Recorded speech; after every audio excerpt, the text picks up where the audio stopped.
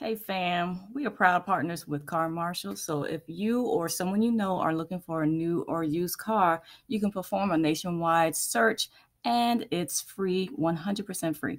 The best part is they help you find a car and actually negotiate the price for a hassle free car buying experience. You can find the link in the video description box below to our channel sponsor, Car Marshal. Thank you, beautiful people. We appreciate your support.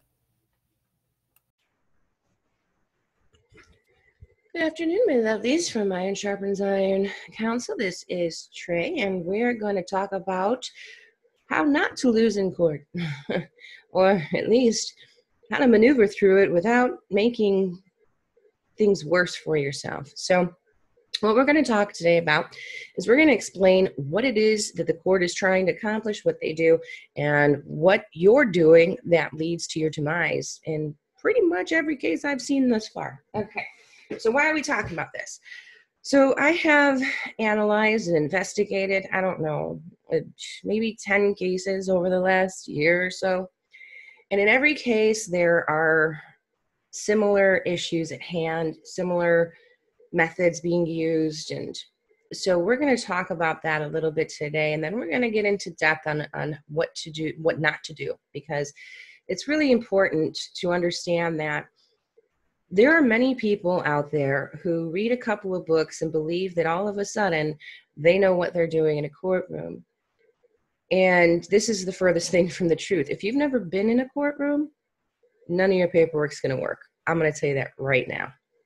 So before we engage someone in, in asking them to help us through a court situation, please find out before you do that. The first question you should be asking is how many times have you been in a courtroom? Um, you know you, you it doesn't work on paper the same way it works in practice. So when we're actually in there and we have this magical paperwork that some guru told us we just got to file this and we're going to win. And then all of a sudden you're disappointed because it didn't win. What happens next is the guru tells you it's your fault. It's because you didn't know how to stand on it. You know let's just roll with that okay? Let's just say that's the truth.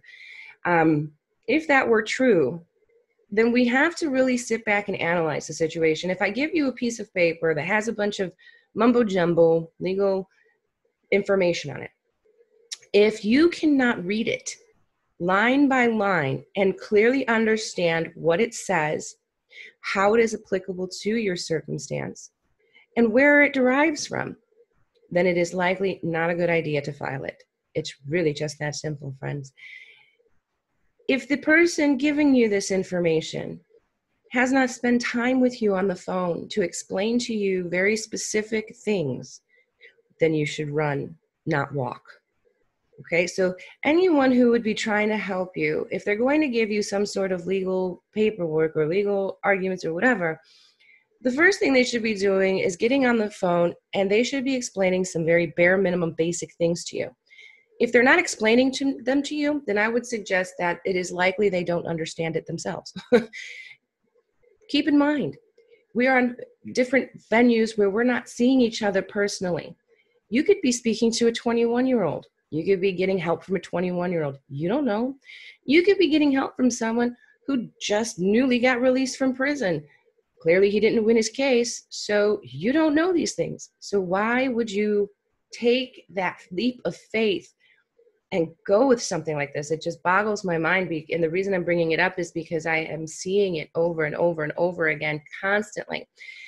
Typically, after a person has gotten help from someone, filed about 100,000 pieces of paper into their case, that's when they come to me saying, I'm stuck. None of this worked. I'm not sure what's going on here. I don't know what to do next. That's typically when I start hearing people ask me questions. So, what are some of the very basic things you need to know about a person who's going to give you help? Okay. Number one, we want to find out what their experience level is. What types of arguments are they bringing to the table? Do they feel right? Does it fit? Does it make sense? Is it good? If you can't even comprehend what they're saying, then run, don't walk. Because if you can't comprehend what they're saying, this leads me to believe it is possible that the person is dictating and not really helping. So that's that's just no good for anyone. But in addition to that, they may not really have a good understanding of things themselves. You hear so many different scenarios in here. I helped a, a, couple recently, and it was time consuming for me just to get on the phone with her, just to bring her back or snap her back into reality, which she never really quite came back. So here's the thing. This this woman filed uh, like six or seven different things into the court. You know she got up in there using the various trust arguments. That didn't work. So then she used the, it's a corporation argument. That didn't work. All meanwhile she's sitting in jail. This is not good right? And she doesn't understand why they're not listening. So you cannot walk into an adversarial court and pound them over the head with the truth about 20 times and on time number 20 they're going to say ah you got us. It isn't going to happen. I'm sorry. I know you want it to happen that way. But what you want and what is reality are two different things. So when we do these things what happens behind the scenes that no other guru who gives you this kind of paperwork is telling you about? During the course of your filing all these paperworks right? File paper number one nothing happens. Maybe the judge ignores it, doesn't even get heard. Number two paper goes in, same thing. Judge ignores it, doesn't get heard. Number three gets in, now the judge is mad and yelling at you, and you don't understand why. Number five is going in, the same thing. Everyone's mad, no one's really listening to you, and they can't hear you, and you are simply frustrated. What does this look like? If I would to come to your house and tell you that I want to fix your roof, you say no. I come back and say, hey, if you let me fix your roof, I'll give you a candy bar. You say no. I come back again and again and again, over and over and over. Now you're now you're just annoyed with me. Now it's just annoying. And now it, what happens is they start playing with you. They start toying with you because they think you're funny. So that's what's happening when you're filing all these court papers that are ineffective and doing nothing for you because that is what the definition of insanity is, friends when you keep doing the same thing over and over again and expect a different result. This is what you're doing when you're filing into these cases like that. And it becomes uh, entertainment for the crowd, for the court. So a lot of times they'll start jumping up and down out of their chairs and seats and yelling and screaming, waving their hands, and all these weird things are going on around you, and you're getting even more and more upset as they're provoking you and invoking your emotions. It puts you into a deeper cycle of not being viewed for having uh, very good logic and reason skills, it also puts you in a position where they can say pretty much absolutely that you're irrational. What does it mean to be irrational? It means that you're not really capable of going through this process on your own. So now you've also become dependent and now they take control. It's really just, it just happens that way. You don't have to like it, you don't have to agree with it but I've seen it so many times over and over again that I'm telling you now. Every single case that I have put my little fingers into, every single one has raised some sort of trust. You're the fiduciary issue, you, you know, uh, filed tax papers, did all these different things that we hear about from all these different people. And so I took it upon myself to start analyzing and looking at it, seeing how it works and what it's all about. So case number one is a mortgage case. Many of these things were filed into the young lady's case and what was the result of that case? So they forced her to get a guardian ad litem for her husband. So that was the first part. Second, then after all we get through all of that nonsense, the next thing is a new company moves in and then they start moving into foreclose upon these these these very very kind people by the way um, so now we're still operating in the you know it's it's a trust it's a bad thing it's a corporation sort of thing you know this is what she's doing the whole time. And the court just moves and she's frustrated because they don't hear her. And she doesn't realize why that is. In the end they are going to be foreclosing on her home. It's really just the way it ended up. And i'm sad about that really sad. But it's it's these types of arguments that are ineffective. That's why uh, so now we have a person number two. She is also filing paper into the court pointing out the fact that they are not able to uh, do what they're doing because they're a corporation is basically the overall, overall idea. She then, after that, files this 99 page long, yes, 99 pages worth of legal arguments in an affidavit. First of all, legal arguments can't go into an affidavit, friends. If anyone's trying to give you something like that, run, don't walk. But now she's got this huge piece of paper. I can't believe it. The attorney actually responded to all 99 lines. I was shocked and I actually felt bad for the attorney that had to respond to it. But, anyways, it did nothing other than get her a psych evaluation. And for the psych evaluation, she lost her child. Um, during the course of that, there was an issue going on while when, when they take your kids from from uh, CPS or whatever takes your kids you also then are required to pay child support for the children. So that was a secondary subsequent case that was going on. So once I got involved with her, we were able to uh, get the attorney general to withdraw her position in the case and vacate her uh, motion to collect child support. So that was a positive thing that happened, and no corporate status was mentioned, no magical rainbows you know were laid out before them. It just it just was basic stuff. Real simple actually.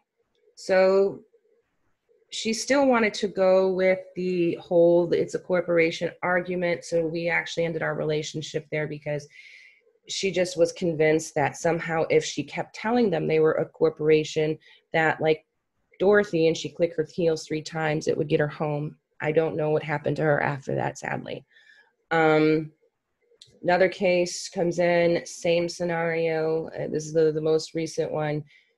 Uh, lots of trust documents and lots of, you know, it's a corporation arguments. So this person, this is really shocking to me. This is this one that kind of amazes me a lot. This person had received help previous as being on probation. The woman actually somehow, whatever she gave the probation officers, they stopped coming to see her. They stopped contacting her, stopped having their visits. I don't know all the details behind that. So uh, this happened like two years ago.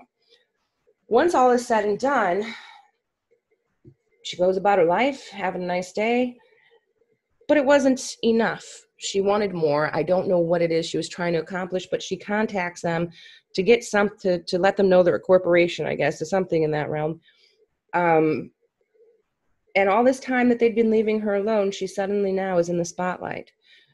This letter she sends them, beating them overhead with the corporate truth, ends her lands her in jail because they sent a letter. The probation uh, director sent her a uh, the judge a letter saying that he believed she needed a psych evaluation and that he, she had mental health issues. So now she finds herself uh, being arrested for violation of probation and then catches a secondary charge uh, for resisting arrest. Now she is in uh, a whole new case with being in a correctional facility for where she is being held or detained because of this psychological problem. It may lead to her um, demise or the demise of the public if she has a, a, a, psychosis going on. That's the idea of it. And that's why she's there, but she doesn't even know this. Um, she thinks she's just there in jail because of resisting arrest and that's, you know, they're not giving her a fair and meaningful hearing and all these other things. So what's really going on is they're holding her pending an, an investigation to see if she does have some sort of psychological problem. And if that problem is dangerous to let her go because she might do harm to the public. That's the idea behind it. And it is very difficult to accept this. It's very difficult to understand and, and to accept, I guess, because she now is filing all these crazy motions into the court. And the more she files, the observers around her who's an observer? The judge, the defense attorney, the prosecuting attorney, the guards, uh, anyone who, who comes to speak with you is observing your behavior specifically to see if you might be having some sort of behavioral health crisis. And if they believe you to be having a behavioral health crisis, they are very much allowed to keep you in custody before letting you go. They must find out if if there's danger involved. They have to hold you. That's a responsible thing to do, right? They have to hold you until they can figure these things out. So that's why she's been sitting in there for several months by this point. And now it takes me a billion and one conversational hours to talk her off the ledge, so to speak. I had to ask her. So, all these motions you filed about corporate this and trust that, which one of them effectively got you out of jail? None of them, obviously. Which one of them were effectively heard in front of the court where someone had been able to rebut them? None. Okay, so which one of them have effectively stopped them from taking you into a psychological custody ward, psychological ward? None of them. So if we know this is true, why would you want to file another piece of paper exactly the same as the last five or six that you filed? What would make this particular one more effective than those? There's no answer to that. And yet, she still want to file some stuff. it makes no sense to me, but you know, it's it's like it comes with some finesse to talk her off the ledge here. You know, you got to kind of roll with the punches. You got to tell her, yeah, yeah, yeah, you're right. I believe this. And then everything else kind of falls into place. Like, look, if you're going to get be right, if, if, if what you want to do is to be right, then there's nothing anyone can do to help you because you're sitting in their room. I don't understand if if people don't think about this clearly, but I hope you do after this. So you get into a room filled with people who went to law school for several years and have been practicing and are masters at legalese or masters at um, at at at very very strong arguments and and they have skills. This is a skill. This isn't natural. Okay, so they've accumulated these skills over years and they've worked very hard to accomplish this by the way so you know you can dislike them all you want but what you can't say is that they did not work their butts off to get to where they're at and now you come in there and you try to tell them how to do their job you tell them how it all works and presumably that what? They don't know how it works? Is that not insulting? Does that not make someone feel combative instead of wanting to work with you? Like i mean eh, think about if i come into your house and tell you how to do your thing in your house it's it's insulting. So you you might think you know some truth you might have some really good truth in your hand but if it's not effective in getting you out of your circumstances why use it i mean i, I don't understand that concept but you know you hear people, oh, it worked for me, instantaneous. Yeah, I call bullshit. I've been looking to find someone who could show me evidence that any of this nonsense ever worked for them, and I have not come across anyone yet. But yet, people will still roll with that because it's easier. It sounds easier. It sounds good. So you can take the easy road or you can take the effective road. And like I said, I have had many, many cases that have gone through my grip. So I'm in a pretty good position to tell you it doesn't work. And I'm sorry it doesn't work. I wish it were that simple. If it were that simple for you and I could make, wave a magic wand and make it that way, I most certainly would. But that's my rant for today. So now we're going to talk about, now that we talked about what doesn't work and why you're getting circular hamster wheel logic in the courtrooms going on there, uh, let's talk about what is uh, what is the truth versus what's you know magical, mystical, rainbow chasing nonsense. Okay, so is is everything a corporation? Are there corporations in government? Yes. If you can't tell me how that will succeed in, in a case, I don't want to hear about it because again, if if the judge knows that it's a corporation and the attorneys knows that there's a corporation involved the trust involved they know all these things what are you going to do about it? Tell them what they already know? And then what? So if you don't have a solution you know just doesn't make sense to use it. You, you can you can think of it from that perspective but now let's talk about the reality perspective right here's how it looks let's talk about what it looks like so everything the court is doing the officers and everyone else, they are trying to protect the public welfare. What that means is that if you are disorderly in public, you are disturbing the peace. And the reason that they consider that to be a disturbance of the peace is because your emotional outrage, your emotional um, disturbance being displayed will lead to the rest of the people getting upset about your behavior, whether they point you out and are scared that you're acting weird and want you, you know, to be looked at, or if it's simply you will get them riled up to believe and agree with you on something. Either way you slice it, your behavior may lead to the public becoming um, uncomfortable, unhappy. And everyone has the right to happiness, liberty, right?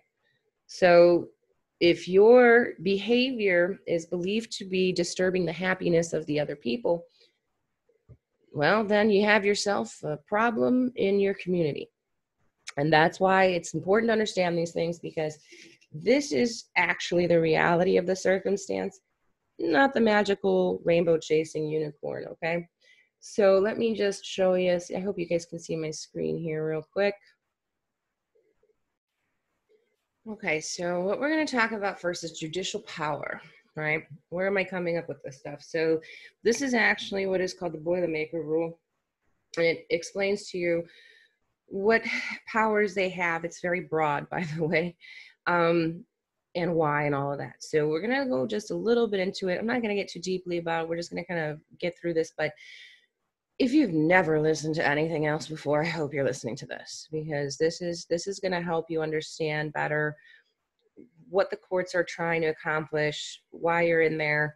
Because if you understand who, what, where, and why, then you can move forward to make an informed, better decision about how you want to proceed.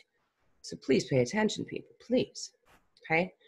So, limb one the judicial power of the Commonwealth can only be vested in a Chapter 3 court, including state courts vested with federal judicial power under the 77.3. Okay? Only a Chapter 3 court can exercise judicial power, includes Federal Court of Australia. Not a Chapter 3 court if no mention of 72's appointment, not called a court, etc. Okay, so although this comes from Australia, their court system is is the same as us. They have Department of Justice and everything like that. But this, the Australian version of explanation was just really better set out than what I could find in the states. So, and it makes sense because I can also establish um, various different cases in the United States that agree with this this Boilermaker rule. So, that's why we're using it. Uh, that's why I'm using it not to give you, you don't go and drop this into the courtroom or anything like that. This is just so that you can have a better understanding of what's happening. So here we call them Article 3 courts. An Article 3 court, most people already know, is a court, a constitutional court. It was created by the Constitution and it was given power to hear on matters involving matters of right. Okay, below those courts are tribunals what you know as municipal courts. Okay, these are different. These are not constitutionally created courts, although they may have some judicial power vested in them, they are merely statutory courts, meaning that the legislator created a statute. Typically, that statute is nothing to do with protecting your constitutional rights, okay, and everything to do with keeping a level playing field so that all people's constitutional rights are not impaired, abridged, or deprived based on the action of all the different people living in the community. Okay, I have a right to liberty, property, and happiness, and so do you. If we're all going to live together, my actions count as to, to as far as if you're protected. So, uh, is my behavior going to interfere with your happiness? You have a right to happiness. So if my my behavior is interfering with your happiness, and somebody wants to stop me from from doing that, then this is not where you're gonna you're not gonna go into a constitutional court because your rights are not absolute in every sense of the word. Your rights are only absolute when you're not abridging someone else's rights. So now your your rights have been reduced, okay, to okay, you're interfering with someone else's happiness, someone else's peace so now we're going to get involved with you and we're going to figure out if there's a way to uh, make amends between the two parties so that the other party can be restored back to happiness and you can be restored back to your liberty. Okay, so understand that when you go into a, a, municipal tribunal, this is what they're trying to do. It's not about if your rights were violated or not. That is not what the issue at hand. They're addressing if your actions led to a breach of peace and therefore violated the rights of the community. Okay? If someone cannot articulate this to you, run, don't walk. All right, so let's move forward. All right, so limb two, a federal chapter three court cannot be vested with anything other than federal judicial power. So in the United States, what we're talking about are your federally protected constitutional rights. You have two sets of rights. You have one from the Fed and you have one from your state, right? So you would have to get familiar with what your rights are, uh, which of your rights are protected within the state. Um, outside of due process, substantive due, due process, your rights are pretty much, for the most part, uh, workable because, like I said, you you have those rights, but you can only have them if you're not impairing the right of others. And this isn't just about injury and it's not just about damage. It's like i said everyone has the right to happiness. So if i'm running around the neighborhood uh, screaming fire fire fire and there's not actually a fire i have impaired the rights of my fellow man because i made them unhappy uncomfortable and afraid unnecessarily so. Now we have a problem. So this is where the police might come in and pick you up because they are worried that maybe you have a mental disability and that you'll keep doing that and that will lead to the community being unhappy. Okay? So that's what this is all about. Is the power validly conferred on that body what is the nature of the power to which po- which body is the power given apply the boilermaker limbs to determine if it is valid what is the nature of the power judicial or executive. In accordance with the first limb of Boilermakers, only a Chapter 3 court can exercise judicial power. Okay, it's an important statement here. So, what they're saying in Article 3 court is the only court that can actually exercise the power from the judicial branch. Okay, so let's make that clear. The only Article 3 courts that I know of that are in existence are the federal courts and obviously the Supreme Court of the United States uh, I think that the state Supreme Courts were supposed to be Chapter 3, or I'm sorry, Article 3, but, you know, I haven't really delved into that very deeply, so it's questionable at this point. I'm not real positive. All right, difficulty arises in attempting to formulate a comprehensive definition of judicial power. According to the court identified in dicta of judicial power, indicators of judicial power. Okay, so power derived from sovereign authority means the body making the decision must have the power to make the decision by the actual law of the parliament or in our case the congress okay or assembly in this in the state not binding and authoritative as it was not bind not binding of its own force but required exercise of judici- judicial power to enforce so sovereign authority so the people are the sovereigns as a body okay as a whole but they have delegated their authority to other categories of government to conduct certain businesses for them. Okay, so when people talk about sovereignty and the people are sovereign, this is what it means. They are sovereign as a whole. But if we allowed everyone to be sovereign in a civilized community, that would mean I would have the freedom to run you over with my car. No one could do anything. That would be what a sovereign could do because I'm not subject to the law, right? So when people talk about sovereignty, I think that what they're not articulating well and what they really mean is that they believe in law and they want the law to exist. But at this point, the whole public safety issue has become nitpicky and and way too penalizing and, and I can't disagree with that. So um, you know, I've, I've, like I said, I've analyzed and looked to see what it was all about, the sovereigns and sovereign citizens that people say about, talk about, so to speak, and there are various different ideas, you know. So if someone is saying anything about sovereignty, everyone seems to have a very different idea of what that means, you know, and, and this can cause for confusion. But just, you know, keep in mind that the power is derived from the people because the people as a whole are sovereign. But that does not give the people the right to impair or bridge or uh, deprive another person of their right. So, this is why we have the secured liberty, property, and happiness interests. Okay. A controversy about existing legal rights and duties, a matter. The creation of new rights will not satisfy this element. 75 and 76's deal with the jurisdiction of the federal courts in respect of matters must be resolving a matter. The court is a passive institution. They will not actively seek out dispute. The matter must call upon them to take action. Requirement of a matter is enforced in regards to the Judiciary and Navigation Acts. If there is no matter, there is no judicial power. Okay, and that's another important statement. So when we talk about the matter at hand, right? What matter is being brought into the court is basically some sort of controversy has to exist, and that controversy must show that someone had a right and that that right was infringed upon before the court can even hear it right so if if there is a controversy say the state is uh, collecting revenue and that's the state's superior interest in uh, obtaining tickets okay it, it is it has nothing to do with public safety this would be a matter that we would be able to bring into an article 3 court because the state would be abridging the rights of the public in order to collect revenue and not to protect the public, the members of the public, right? That would be the matter at hand. So we would raise that issue in a Supreme Court just because we want to make sure we're addressing the merit of the case. What is what is actually going on here?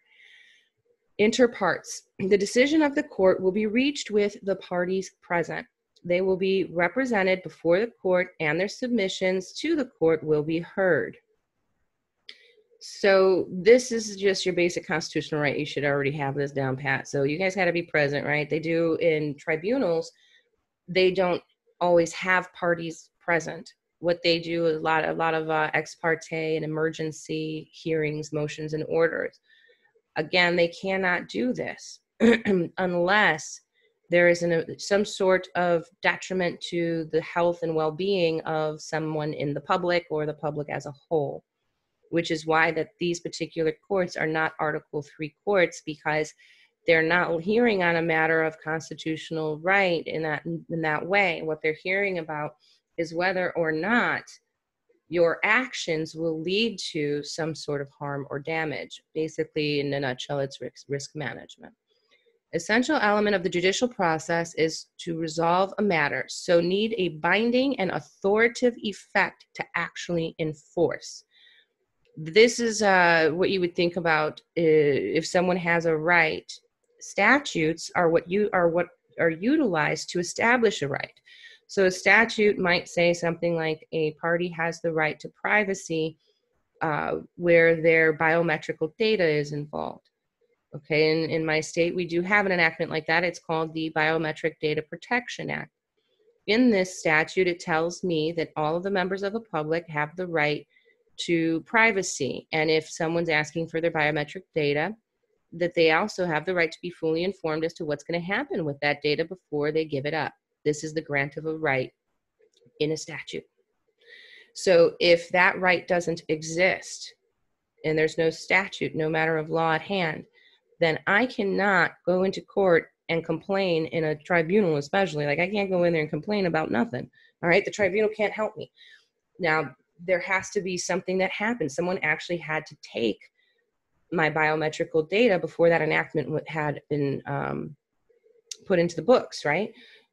So it must have happened at some point. Someone's like, hold on, and it raises a question. This would be the matter can people just take your biometric data, biometrical data and use it?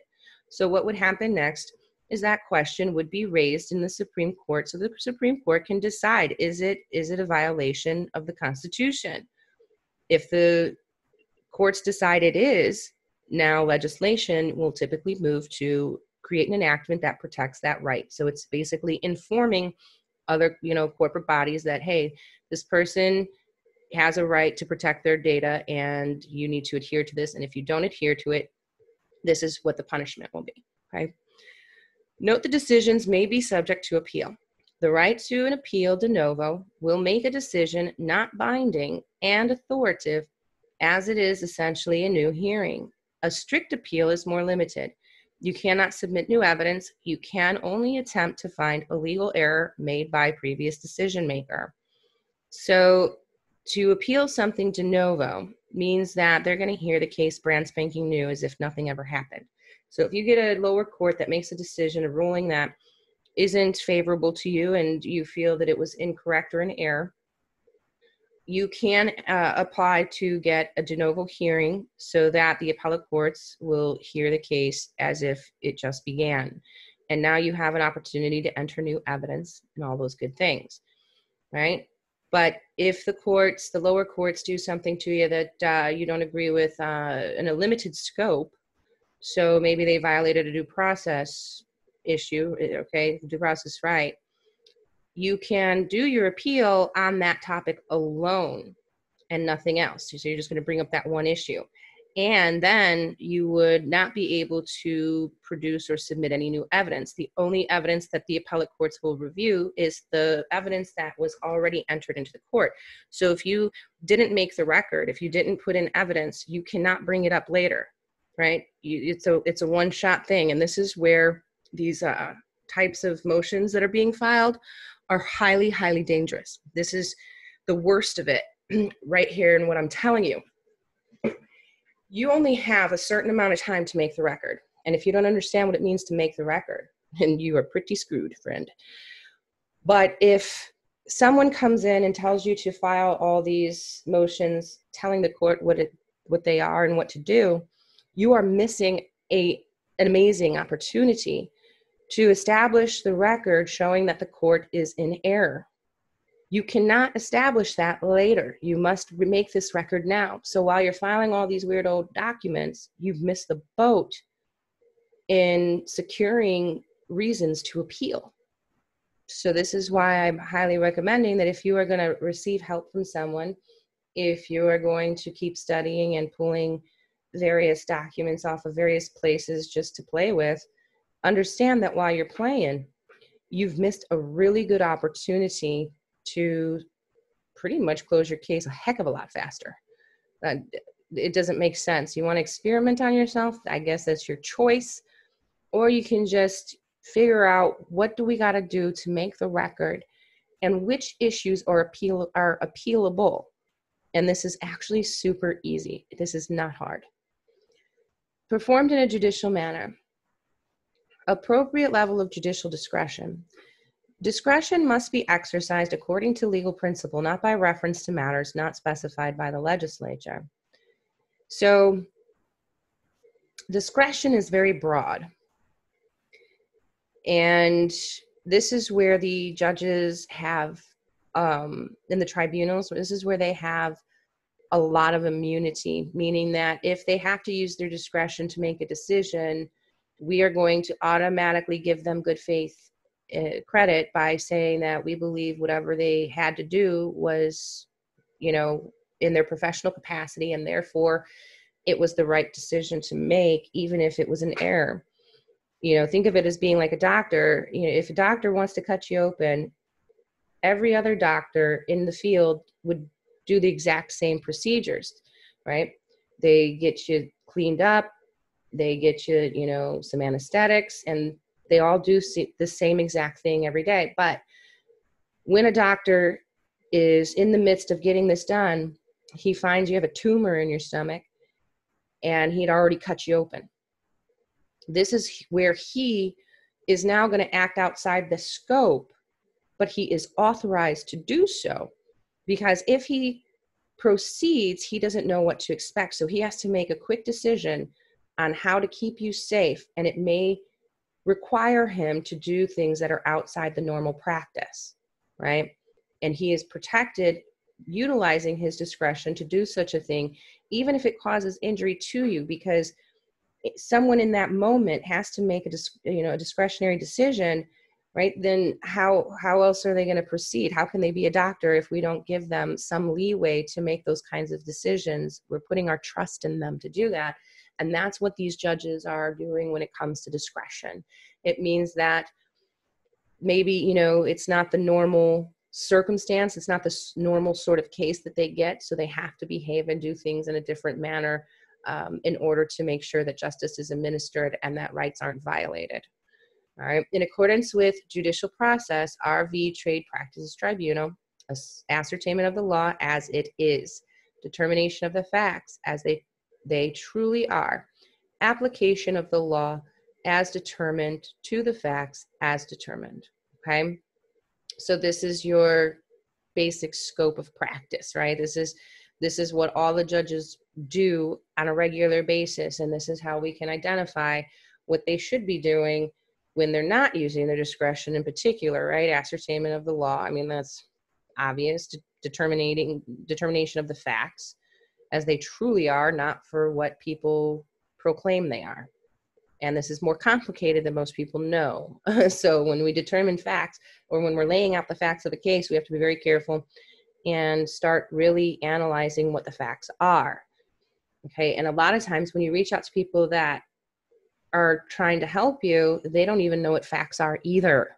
Okay, I've seen this in a lot of the cases where they're laying out all these purported facts, and I could probably remove about half of them at least to say this is not a fact, this is a conclusion. So, you know, this is something that we have to be very careful on. It sounds good on paper, but it doesn't always make sense if you understand how to analyze it better. Okay, so uh, now it goes into the judicial process under, under judicial process for um, what do you call it discretion, right? Um, so the judicial process, but it must be it must not be of an arbitrary kind, and it must be governed by some ascertainable test or standards. So if a judge is going to utilize his discretion, then there must be some sort of other case out there that has guided him to understand how to use that discretion in that particular circumstance okay or he has to apply some sort of test or standard a test or a standard is something that they use on a regular basis to determine what to do next so they will apply say the reasonability standard is it reasonable and is it just for me to take direction a or is it reasonable and, and just for me to take direction b based on what the facts are before me. Uh, this whole case is outside of the norm. So, given what these people are saying to me, is it reasonable to believe that this person is incapable of running their own case? Is it reasonable for me to believe that this person is possibly insane or is possibly behaviorally disturbed? And all of this is what they're observing about you throughout the course of your case. So, you know, use some reasoning here if you're filing a bunch of stuff that isn't effective and isn't applicable, if it doesn't make sense, or if it's in the wrong procedural method, then is it reasonable for a judge to make a determination that he can say throw out all of your motions, right? Because I would say if if it's mumbo jumbo and doesn't make any sense, yeah, it would be a reasonable thing. So if he uses his discretion to throw all your motions out, the upper courts are going to agree with him based on reasonability tests. Okay. The result binding and authoritative decisions are from the non discretionary side, not exclusively judicial attributes.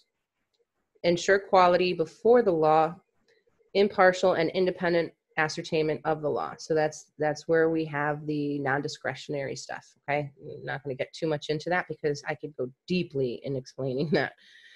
Um, some powers may be judicial or executive. Their nature depends on the body in which it is reposed. Common elements: a controversy about existing legal rights and duties, a matter, ascertaining the law, determining the facts and applying the law to the facts, reaching a decision. Beyond these common elements, the chameleon power will take on the character of the body that it is reposed.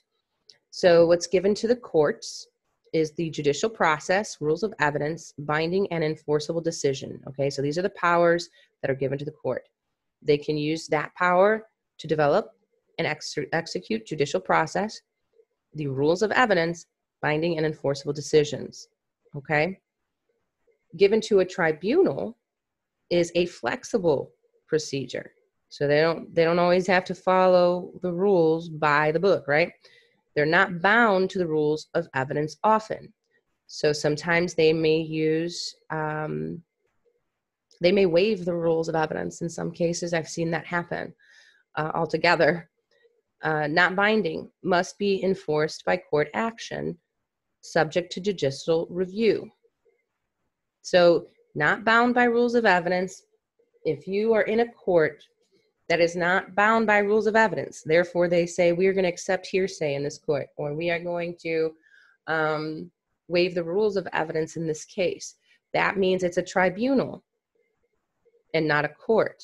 And the tribunal has different powers that are given to them. However, those powers are given to them in a way that is not binding, which is why you're able to appeal okay? Because whatever they decide at the lower court level or the tribunal is not something that it's not final, it doesn't end right there.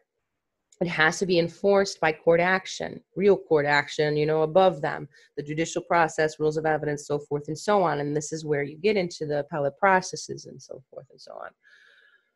So if it's easy, if you if you're in an if you're in a court where their orders are subject to a judicial review, you are in a tribunal. Okay. Uh, advantages of the tribunal flexible is more adapting to changing circumstances than the court, speedy and efficient, avoids erroneous nature of 72's tenure. A judge will have tenure until they are 70, so if you need a number of determinations to be made in a short time, there's an advantage in choosing a tribunal. Appointed judges for a shorter period also indicates flexible flexibility. Disadvantages no guarantee of independence and impartiality in decision making, as judges do not enjoy the security of tenure guaranteed under the Constitution, so members may be less independent. Deviating from the strict nature of the judicial process means the same degree of fairness may not be evident. Okay, so if you're in a in a forum where the rules are waived, changed, and aren't followed totally strictly, then you're in a tribunal. Okay? So, in dicta of judicial power, it is difficult to frame an exhaustive definition of judicial power and almost impossible to point to any essential or constant characteristics. RV, uh, R versus Trade Practice Tribunal, ex parte, Tasmanian Brewers Party Ltd. So this is where they go over the details of all of this, and you can look up these cases if you want to get a more clear picture. Brandy versus Human Rights is a good one. Uh, Brandy considered first limb of Boilermakers, issue whether binding or and authoritative, and it held that SS of 25 of the Racial Discrimination Act 1975 purported to vest judicial power in the commission contrary to chapter 3 of the Commonwealth Constitution and hence were invalid. So what they're saying here is was the proper venue for a racial discrimination issue inside of the commission versus inside of an Article 3 court? And the answer was no. So that act was invalid because the state didn't have power to vest in the judicial commission, right? So this can happen. I think we have a lot of statutes out there that we would be able to identify with on this particular issue. Okay. Authority, binding and authoritative unless subject to appeal de novo, indicates if a power is binding and authoritative, it must be judicial. Repugnance to first limb of Boilermakers and therefore invalid by attempting to vest judicial power in a body that is not a Chapter 3 court. Okay, so reiterating if the power is binding and authoritative, then it has to go to an Article 3 court to be heard. If it is not binding and not authoritative, it can go to a tribunal, which is why if you look at your statutes, you will find there is not penal code involved in a lot of them, right? So you don't get punished for failure to act or for that specific action because that would be putting it in the wrong place, right? So they can't apply penalties in a statute that is being heard inside of a tribunal. So go ahead, read your statutes, and you look yourself, and you will find that most of that statute doesn't apply some sort of uh, consequence. They can't, because that would be punishment, and that would be a bill of attainder. That's why the statutes are open ended and rebuttable. Okay? Brandy considered bodies which are not courts, i.e., executive, vested with judicial power found invalid. The facts are found in various places, blah, blah, blah. Application of the Boilermaker's first limb. The judicial power of, of the CCH can only be vested in a Chapter 3 court, including state courts vested with federal judicial power. Legislative usurpation is a consequence. So, Parliament attempting to exercise judicial powers, an unusual in practice, must protect even small encroachments of the Parliament attempting to exercise judicial powers, smaller encroachments can lead to larger ones. I couldn't disagree with that more. That's why we have to keep an eye on our government. This is exactly what they're telling us here.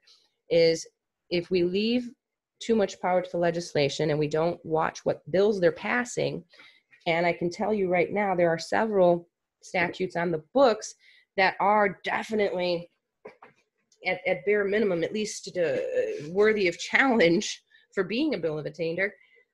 If we're not watching these things then we are going to suffer the pains and penalties of an existing bill of, of, of attainder and then we're going to keep going uh, this direction. Our children are going to deal with this. Our families are going to deal with this. So it's very important to understand that if you're going to go to court anyway you might as well challenge the statute on its face. You'd be doing your neighbors and families and friends a, a very um, big favor but you know if you got to be there anyway you might as well might as well start looking at this a little closer if if you're in the a point of you know if you're up to a point of learning that you understand some of these things. All right so will uh, a bill of attainder punishment by death or bill uh, bills of pains and penalties punishment by a lesser means infringe the separation of judicial and legislative power as substitutes a legislative judgment of guilt for the judgments of the court exercising federal judicial power. Parliament attempting to interfere with the process of the judiciary by respectively amending laws to achieve a desired outcome will amount to legislative usurpation. And that's what we have a lot of times in a lot of our legislation is that the legislature writes the bills to suit a desired outcome and not to protect public safety and welfare. A great example of this, in my opinion, obviously, is just my opinion, is the sticker that you have to get on your car. This does not have anything to do with public safety or welfare. Therefore, it's revenue driven. And yet, I found statutes in the state code referring to stickers on a license plate. No can do state because this is not a public safety issue. This is a revenue desired outcome. So, this is something that we would want to challenge if we were in the court uh, with a ticket and our liberty was uh, infringed upon because they wanted to take money from us. Like they, it's not how it works. The only reason they would be able to detain us would be if there was some sort of public safety issue. Okay, public. So, Parliament cannot apply criminal laws retrospectively without an infringement of judicial power, as they are prescribing the law and changing the standard that is applicable to an individual's conduct but it is still the court who will determine if there has been a breach of the law. Detention, this it gets nice, okay? The general principle. The involuntary detention of a citizen in custody by the state is penal or punitive in character, and under our system of government exists only as an incident of the exclusively judicial function of adjudging and punishing criminal guilt. Okay, so that's important detention versus arrest. You be the judge. Uh, the Criminal Act here says that you are arrested whenever you think you are. So if someone doesn't let you leave, you're arrested, not detained. Those are two different things, right?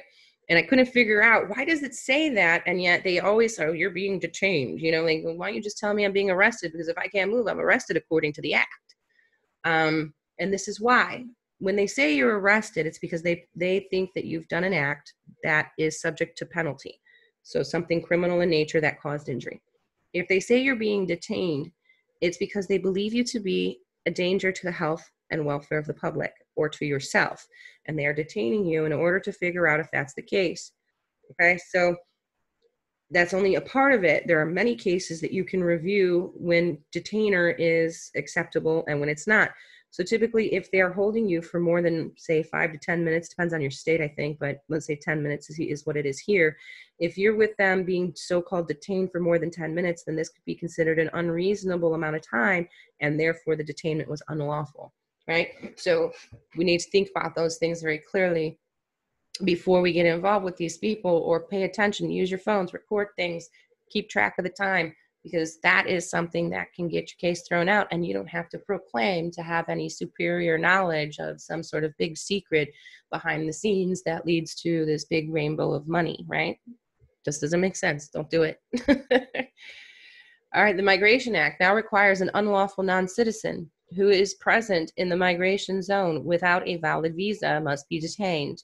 There is no discretion exercised in this choice it is determined by the parliament. It is therefore inconsistent with the principle that detention is exclusively judicial. Okay, so this is an abridgment uh, between the separation of powers. Legislative legislation doesn't allow for any discretion to be utilized, therefore, it's authoritative.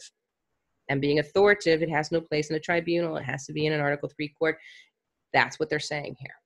Okay. If detention is to ensure that a person accused of a crime is available to be dealt with by the courts, essentially to the assure, ensure the smooth function of the judicial process. Involuntary detention in cases of mental illness or infectious disease, as it is imposed by the legislative to protect the community, not as a punishment of the courts. Okay? If you get placed into a correctional facility, this is not punishment. Okay? This is therapeutic for you and the community so that you can heal the relationship between you and the community. It's the difference between going to a penitentiary versus going to a correctional facility. Parliament can punish for contempt of Parliament. Military tribunals may punish for breach of military discipline. Detention for a legitimate non punitive purpose can be authorized by the legislation. Negative consequences of detention will not make it punitive. It is the intention that is important. Harsh conditions will not make a non punitive detention punitive. Detention will not be punitive just because it violates an international obligation. Detention will not be punitive, even if it were indefinite. Saying, I can keep you in a correctional facility forever and ever and ever, but it's not a punishment, it's therapeutic. As long as the purpose of the detention is not to punish detention, can be authorized via legislation. Okay. So basically, what they're talking about here is intent. The state's intent to put when they put you in a correctional facility it is not their intent to punish you it is their intent to protect the safety of you and the, and the public. And because no intent exists we cannot say that the state is doing something criminal because in order to have a criminal case against the state you would need to have intent to do harm intent to abridge a right intent to do all these things. And what they're saying here is that the state does not have intent to punish you therefore it's not a bill of attainder because their intent is only to protect the public safety and welfare. Okay? Got to really understand that, guys. If you don't really understand that, or if you're speaking to someone who's helping you who doesn't understand that, run, don't walk. Exceptions to the first limb of Boilermakers. The delegation of judicial function to administrative officers of the courts is permissible, providing it is limited and subject to the review of the courts. Parliament may punish for contempt of Parliament. Military tribunals can punish for breaches of military discipline. Application of Boilermaker's second limb. A federal Chapter 3 court can not be vested with anything other than federal judicial power. Okay, we're not going to get too deep into that because that was kind of outside the scope and this is getting long. All right, so everything else in here is basically going over the same thing I've been telling you throughout the thing. It's just kind of a breakdown about public confidence, public safety, public health. Um, so before you decide to say things that the public may not understand, this is how you need to view it. If you're talking about a corporate system, you know, or a corrupt system, if you're going after them for all these different things, it would be wise not to mention those things if you don't have solid material evidence to support them. The kind of evidence that would be obvious for you to gain public support because the public will understand where you're coming from if you are saying things that you feel the public just doesn't understand, doesn't know the truth of, and it would take them years to learn said truth like it took you, then it's not wise to raise it as an issue. It just doesn't make sense. So I hope that this helps clarify uh, for you not only what the courts are doing, but I think that this also is very helpful for you to be able to change the way you think as far as how you will address controversy when it's brought to you by these actors. That's the really important thing. We have to change the way we think, we have to change the way we react, and we have to change the way we hold ourselves out because of this reason. Okay, if the public doesn't know what you're talking about, then the court is not worried about you because all they care about is the court of public opinion. And as long as um, they can make you look crazy and say you're crazy, the public will believe them over you every time. So there's no reason to raise some of these really, really bizarre and um, aggressive kind of issues. It's only going to get you in trouble. So I hope that you you take a different path and start learning a little bit more about how things work versus what you want them to be. Everybody have a great day.